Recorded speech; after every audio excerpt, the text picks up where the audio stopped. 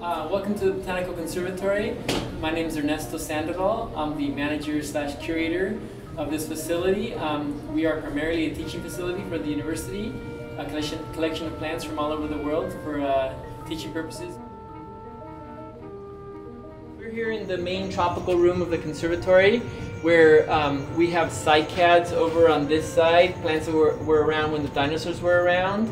Um, and there's actually one right over here that's, that's actually, the, leaf, the leaves are coming out right now, really beautiful. Uh, over here we have chocolate, uh, the plant that makes, uh, actually it's Theobroma cacao, uh, the plant that makes chocolate, where chocolate is made from. So there's a bunch of fruits right here, and sometimes when we do tours, we actually cut them open and show them to people. In fact, I think I have one right here with the, the fruit out, so nice. it's kind of fun. We had some kids in here the other day. And then uh, uh, we had somebody uh, back here that from a, a, a, greenhouse company back east that provides all sorts of rare plants in the world, and he saw this and he's like, "Wow, you guys are growing this? This is called Osa. It's a member of the coffee family." And I always joke that it's Osa cool, giant flower.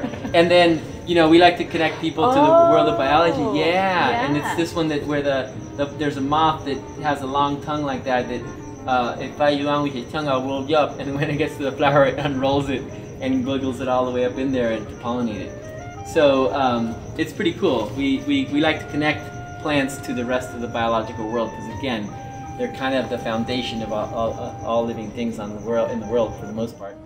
Why have a greenhouse uh, for teaching purposes here at the university? Well, we're in a temperate zone, uh, the Mediterranean zone here in California, and so uh, we have a lot of tropical plants in this greenhouse that need protection from the cold. By having the greenhouses and then uh, broken up into separate rooms, all of a sudden we can pretty much grow something from every climatic zone in, in the world.